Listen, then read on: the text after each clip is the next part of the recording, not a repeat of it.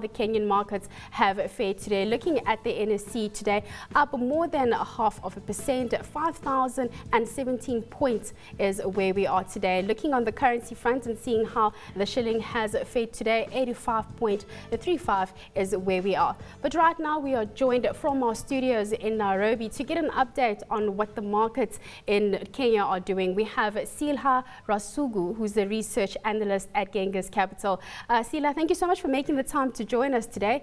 Can you quickly give us an overview of how the markets have performed today? Have you seen any specific standout stocks? Uh, yes, the, mar the, market has performed quite well today. It's past the 5,000 point for the NSE 20 share index, which, which is the mark we've been waiting for uh, for quite a, a, few weeks now. Uh, some of the stocks that have stood out today is Kenya Airways. It was a top gainer in today's trading, um, closing at around 12.3 shillings per share. And this may be attributable to uh, anticipated half-year results, which might be, which should be improved compared to last year. Uh, Silo, you see the 5,000 markers you've mentioned, quite exciting. Uh, how much higher do you think uh, it can go and is this sustainable? Uh, yes, I think it's sustainable in the short term, considering the quarter three results coming in are quite bullish. Uh, we've seen counters like Safaricom register huge growth. Uh, they've been KCB and Equity Bank, both and housing finance, all having improved earnings. And this is a sign that the environment is good for businesses, especially listed companies. And so investors will be confident enough to put more money into the market, and this should push the market further higher uh, we should see it moving on up for at least the next few weeks uh, to December, early December.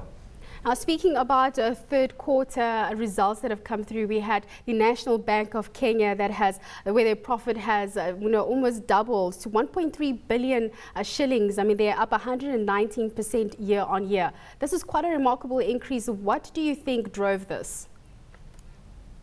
Uh, the, the, the, key factors we're looking at in terms of National Bank is their cost to income ratio, which last year was quite high at over 70%. So they've taken steps to reduce these costs. Uh, they've been restructuring.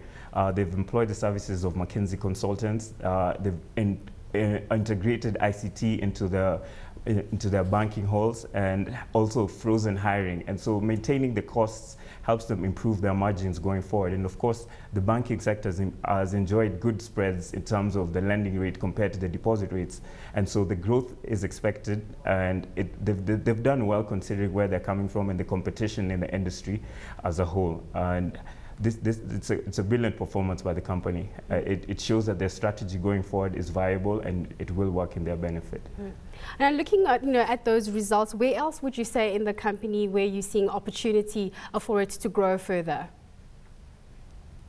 Yes, there is opportunity for National Bank to grow further. I think the, the restructuring process is still in the in initial stages, and so if they progress in that direction with the good with the new leadership they have, uh, and, and, and the plans they have to implement. Uh, you don't want to change the banking hall to be very um, uh, technology based, and so they'll require less staff. Uh, as I mentioned before, they've frozen hiring of new staff, and so if they can bring their costs down, they'll be able to compete better. And of course, uh, they plan to diversify into almost all, not almost all the counties, all the 47 counties. And so, uh, with such a diverse network and minimal costs, they will be improved going forward it's, it is sustainable. Mm. Let's uh, talk about you know other other points uh, with regards to those results because they're saying that they're implementing a five-year transformation program and what they're targeting is to become a top-tier uh, status by 2017. You've been optimistic uh, thus far, saying that it is sustainable. So, are you of the opinion that they could reach uh, that by that time? Uh, they, they could reach, uh, as I said, uh, the, the banking or rather financial sector is quite competitive. Uh, so it won't be immediate, it won't be in the short term, but with a viable strategy and commitment to it, it, it is possible to make it to the top tier banks. They also really need to uh, uh, increase the, lend, the, the, their loans, their loan book. They need to grow their loan book compared to top tier banks like Equity and KCB. They're still far, far back in terms of uh, loans disbursed. Mm.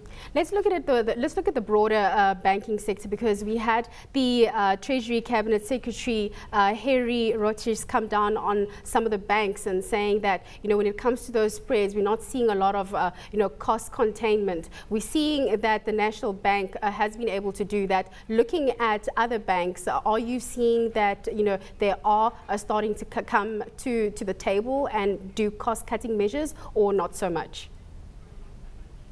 Well, uh, a few banks ha have taken the step in the right direction. Equity Bank, when they released the half, uh, the quarter three results, mentioned that they're hev uh, investing heavily in, the, in, an ICT platform that should be ready by the first qu quarter of 2014. And so their overheads really uh, eat into their margins, and that's why they can't really reduce their lending rates. And so a few banks have taken that uh, step already, and I'm sure the rest will follow suit because with the competition, you really have to be uh, uh, considerate of your market players, of other market players, see what they're doing and see how you can improve your operations in tandem to that. Let's talk about an, let's talk about another stock that's been you know been spoken about quite a lot this week. Is Safaricom uh, yesterday after rallying after that stellar performance. Uh, but you know, do you see any downside risk because a lot of the uh, the lot of appetite has come from foreign investors, and given that we are going to be seeing the eventual uh, tapering of quantitative easing, uh, what type of impact do you think it would have on the stock, if at all? Uh, yes, the, the, the, tapering measures, I think, is the, is a major risk for Safaricom right now. As you said, the, the share price has been buoyed by foreign investors. They're very interested in the counter, clearly, because of their cash, their cash standards. It's a liquid company with steady growth.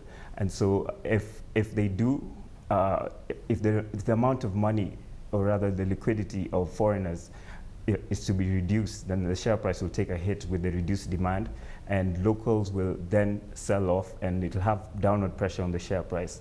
However, I don't see this as an immediate risk uh, right now. Uh, the tapering off uh, as, as has been uh, has been said to be push forward to at least next year. I don't see it happening in December. So the share price is sustainable, although it's trading at a PE that's above market levels, which is around 16 right now for the NSE. But as a growth company, it's, it's, it's not just, it's not sustainable, but it's justified right now as a, uh, according to the company performance. It should be sustainable in the short term.